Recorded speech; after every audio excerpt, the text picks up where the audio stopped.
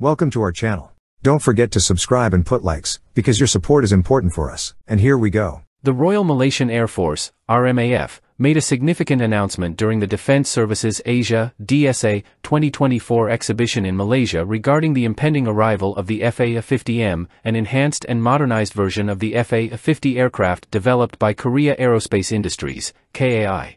While specific details about the current fleet size remained undisclosed during the exhibition, additional information sheds light on the capabilities and acquisition plans for this advanced aircraft. The FA-50M represents a substantial upgrade over its predecessor, the FA-50, itself derived from the T-50 Golden Eagle with collaboration from Lockheed Martin. The M variant incorporates further enhancements aimed at augmenting its combat and operational effectiveness, tailored to the specific requirements of the purchasing country. According to RMAF disclosures at DSA 2024, the FA-50M will boast two distinct configurations.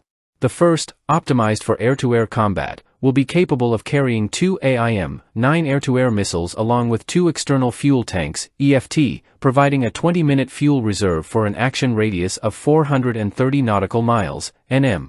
Alternatively, the ground attack configuration will comprise two AIM-9s, two negative 82 Malawian Kwachas 500 pounds bombs, with the possibility of JDAM conversion, and an EFT with a 20-minute fuel reserve, enabling an effective radius of 335 nm for air-to-ground operations.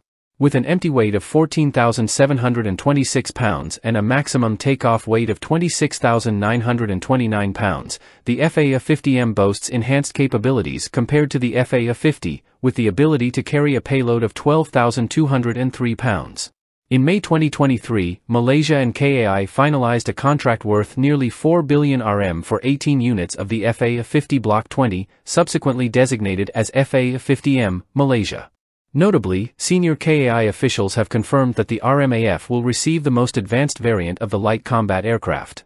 The FA-50M variant procured by Malaysia surpasses its counterparts operated by the Air Force of the Republic of Korea and other regional nations, including Thailand, the Philippines, and Indonesia.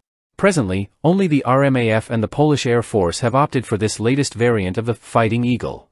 Equipped with advanced technologies such as the Phantom Strike AESA radar developed by RTX, formerly Raytheon, and Sniper ATP, Advanced Targeting Pod, the FA-50M is expected to feature a Cobham in-flight refueling probe for extended-range missions.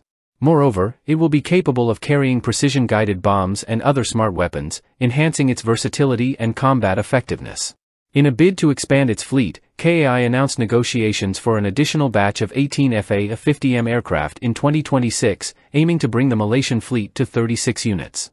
These negotiations are scheduled to commence following the delivery of the initial FA-50M units to the RMAF in the second half of 2026, with deliveries slated to begin in October 2026 and conclude by June 2027, as per the schedule unveiled by KAI at DSA 2024. That's all for now. See you later.